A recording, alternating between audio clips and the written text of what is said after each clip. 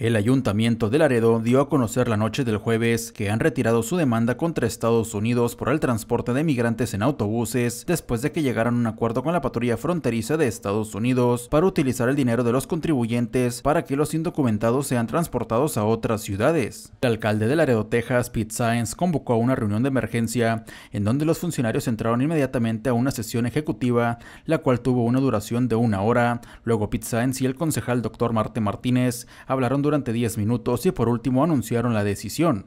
En esta reunión se anunció que de acuerdo al arreglo que se llegó con la patrulla fronteriza, no hay necesidad de continuar con la demanda emitida el pasado 16 de julio, ya que el acuerdo está en curso y es la alternativa menos costosa hasta el momento. Dijo que con esta solución, la ciudad gastará entre 7 mil y 8 mil dólares por día para transportar migrantes al norte o a otras ciudades. Que esta solución rápida se considera insostenible, es por ello que los líderes de la ciudad pidieron la ayuda de la comunidad en el futuro. Martínez dijo que esperan el apoyo de la comunidad a través del voluntariado o incluso financieramente, mientras trabajan para encontrar una solución a largo plazo.